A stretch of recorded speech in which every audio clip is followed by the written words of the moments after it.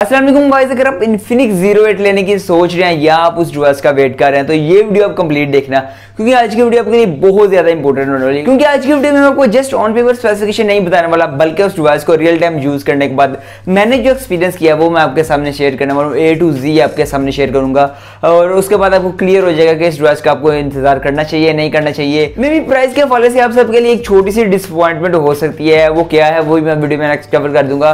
और वीडियो चलेगा तो वीडियो को लाइक करना चैनल पर नहीं तो चैनल को ऑब्वियसली आपने सब्सक्राइब कर लिया होगा। सब्सक्राइब नहीं किया तो सब्सक्राइब कर लें, क्योंकि बहुत जल्दी इसकी अनबॉक्सिंग भी चैनल पर आ जाएगी। सो सबसे पहले बात कर लेते हैं इस डिवाइस के डिस्प्ले के बारे में। यहाँ पर आपको प्रोवाइड की जाएगी 6.85 इंच की आईपीएस डिस्प्ले प्रोवाइड की जाएगी। रेजोल्यूशन की बात करें तो टेन की रेजोल्यूशन प्रोवाइड की जाएगी।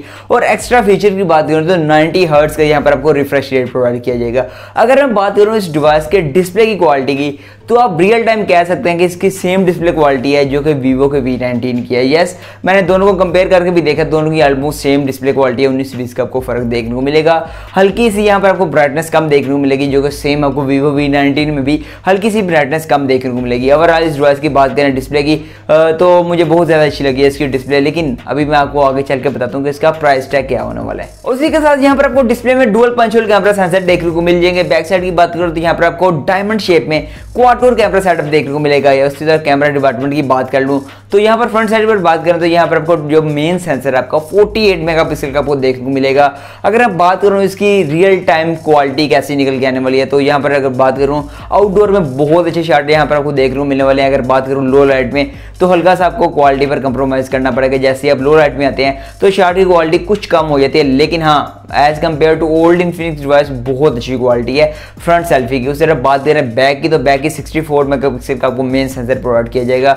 उस तरफ़ एट मेगा पिक्सल का यहाँ पर आपको अल्ट्रा वाइड सेंसर प्रोवाइड किया जाएगा। दो मेगा पिक्सल का डेप्थ है और दो ही मेगा पिक्सल का यहाँ पर आपको मैक्रो शार्टी प्रोवाइड किए जाएँगे। अगर बात कर लो इसकी रियल टाइम क्वालिटी कैसी निकल के आने वाली है तो यहाँ पर बात करूँ आउटडोर इंडोर बहुत अच्छी क्वालिटी यहाँ पर निकल के आने वाली है, जिस प्राइस टैग में ये मोबाइल फ़ोन आने वाला है। लेकिन इसके बैक कैमरा में मुझे जो एक इशू नज़र आया, वो ये है कि जैसे ही आप इसके कैमरा को अल्ट्रा वाइड में कन्वर्ट करते हैं अल्ट्रा वाइड में जैसे ही आप शिफ्ट करेंगे तो वहाँ पर पिक्सल की क्वालिटी फट जाएगी। जैसे आपको as compare to sixty four normal camera sensor में अच्छी क्वालिटी देखने को मिलेगी, लेकिन जैसे ही आप अल्ट्रा वाइड पर जाएँगे तो क्वालिटी पर आपको कॉम्प्रोमाइज करना पड़ेगा। लेकिन ओवरऑल बात करूँ तो इसकी कैमरा क्वालिटी काफ़ी ज़्यादा अच्छी निकल के आई है। उस तरह बात कर लेते हैं इस डिवाइस की सिक्योरिटी की तो यहाँ पर आपको फेस अनलॉक देखने को मिल जाएगा साइड माउंटेड फिंगरप्रिंट सेंसर भी यहाँ पर आपको देखने को मिल जाएगा जिसकी स्पीड मुझे काफ़ी ज़्यादा फास्ट लगी है। उस तरफ़ स्टोरेज की बात कर लेते हैं, यहाँ पर आपको आठ जीबी की रैम प्रोवाइड की गई है, एक सौ जीबी की स्टोरेज प्रोवाइड की गई जो कि बहुत अच्छा कॉम्बिनेशन है।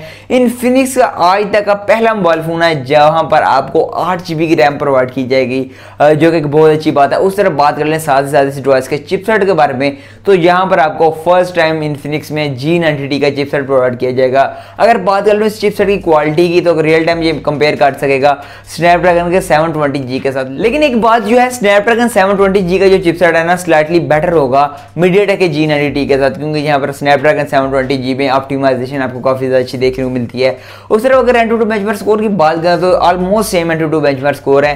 सेवन ट्वेंटी जी की बात करें तो अराउंड दो लाख पचहत्तर हज़ार के आसपास है और उस तरफ़ जी नाइनटी टी के दो लाख सत्तर हज़ार के आस लेकिन उस तरफ़ यहाँ पर आपको optimization Snapdragon seven twenty G में अच्छी देखने को मिलेगी। उस तरफ़ बात कर गेमिंग डिपार्टमेंट की। यहाँ पर आपके पास जेरोस्कोप अवेलेबल है। गेमिंग आप अच्छे लेवल पर कर सकते हैं। अगर आप एक अच्छे लेवल पर गेमिंग करना चाहते हैं तो मैं आपको डेफिनेटली सजेस्ट कर सकूँ इस डिवाइस का वेट करें। क्योंकि यहाँ पर आपको एक पावरफुल चिपसेट देखने को मिलेगा जी नाइनटी टी का। उसी तरफ़ यहाँ पर आपको नाइनटी हर्ट्स का पैनल देखने को मिल जाएगा, जो कि एक अच्छा कॉम्बिनेशन है। एट की रैम भी बहुत अच्छा कॉम्बिनेशन इन तीनों, एक अच्छा आपको गेमिंग एक्सपीरियंस प्रोवाइड करेंगे। उस तरफ़ सॉफ्टवेयर डिपार्टमेंट की बात करें तो यहाँ पर आपको out of the box X seven point zero का वर्जन देखने को मिलेगा एंड्रॉइड टेन देखने को मिलेगा आउट ऑफ़ द बॉक्स अब बात कर लेते हैं इस डिवाइस के बैटरी डिपार्टमेंट की तो यहाँ पर आपको पैंतालीस एमएच की बैटरी प्रोवाइड की जाएगी और उसी तरफ़ यहाँ पर आपको थर्टी थ्री की सुपर फास्ट चार्जिंग प्रोवाइड की जाएगी, जो कि बहुत अच्छी फास्ट चार्जिंग आपको प्रोवाइड की जाएगी। अब लास्ट में बात कर लेते हैं इस डिवाइस की प्राइस कितनी होने वाली है। उससे पहले इस डिवाइस के हाईलाइटिंग फीचर को एक बार देख लेते हैं। यहाँ पर आपको 33 वॉट की फास्ट सेटिंग प्रोवाइड की जाएगी। इवन सुपर फास्ट सेटिंग आप इसे कह सकते हैं। 90 हर्ट्स का रिफ्रेश रेट और उस तरफ़ टेन की डिस्प्ले उस तरफ़ यहाँ पर आपको फ्रंट साइड पर डुअल पंच होल सेल्फी देखने को मिलेगी। उस तरफ़ यहाँ पर आपको जी नाइनटी का चिपसेट गेमिंग चिपसेट देखने को मिलेगा। उस तरफ़ बैक पर 64 मेगापिक्सल का क्वाड कोर कैमरा सेटअप देखने को मिलेगा। बहुत ही प्यारे डिज़ाइन के साथ। अब बात कर लेते हैं इस डिवाइस की प्राइस की। अगर बात करें ये इंटरनेशनल मार्केट में लाइक अफ्रीकन मार्केट में ये कितने की डिवाइस लॉन्च हुई है? अराउंड 250 डॉलर में। यस और अगर 250 डॉलर को डायरेक्टली कन्वर्ट करें पाकिस्तानी करेंसी में तो ये बनती है अराउंड 42,500 यस जी हाँ बनती है। बतालीस हज़ार पाँच सौ रुपया पी के आर इन पाकिस्तानी करेंसी में बतालीस हज़ार पाँच सौ बनती है। तो आई थिंक सो ये डिवाइस कितने में आने वाली है अभी आपको समझ लग गई होगी मे बी इन्फिनिक्स को कुछ रहम आ जाए, और ये डिवाइस लॉन्च कर दे अंडर फोर्टी थाउज़ेंड जो कि मुझे बहुत ज़्यादा उम्मीद है, और मेरे तमाम फेलो यूट्यूबर्स को भी उम्मीद है, जिन जिनके पास डिवाइस आई है, जो जो भी चक्कर है, उनको यही उम्मीद है कि अंडर फोर्टी थाउज़ेंड आने वाली है। लेकिन जो मुझे लग रहा है दो सौ पचास डॉलर को कन्वर्ट करें तो आपके सामने बतालीस हज़ार पाँच सौ बन जाते हैं, और ये बहुत रेयर केस में होता है कि इंटरनेशनल मार्केट में डिवाइस महँगी है और पाकिस्तानी मार्केट में डिवाइस सस्ती आई है लेकिन मे भी ऐसा हो सकता है कि ये device according to my expectation जो कि हमारी एक्सपेक्टेशन थी सैंतीस हज़ार पाँच सौ उसके अंदर आ जाए। लेकिन अभी मुझे वो थोड़ी थोड़ी चेंज होती नज़र आ रही हैं। लेकिन उसी तरफ़ इस डिवाइस में जो जो फीचर प्रोवाइड किए गए हैं आई थिंक वो चालीस हज़ार को जस्टिफाई करते हैं। येस चालीस हज़ार को जस्टिफाई करते हैं। अब लोग इस डिवाइस को इतना ज़्यादा नहीं लेंगे। उसकी मेन वजह यह है कि कोई भी बंदा इन्फिनिक्स की डिवाइस पर चालीस हज़ार, पैंतालीस हज़ार स्पेंड करने से पहले बहुत ज़्यादा सोचेगा। आपका क्या ओपिनियन है इस डिवाइस के बारे में? आप मुझे कमेंट बॉक्स में ज़रूर बता सकते हैं। मैं वेट करूँगा, आपके कमेंट का रिप्लाई करूँगा। आपके हर एक कमेंट का, मिलता हूँ स्टूडियो में। तब तक के लिए